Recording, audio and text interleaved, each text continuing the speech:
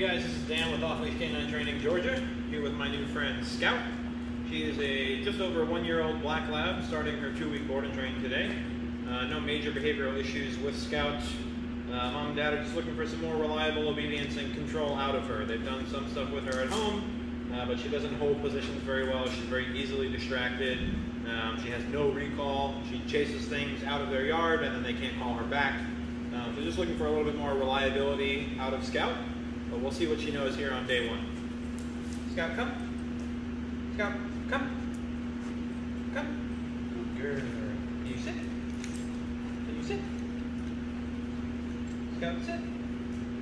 Sit. Good girl. Down. Down. Scout, down. Down. Yep.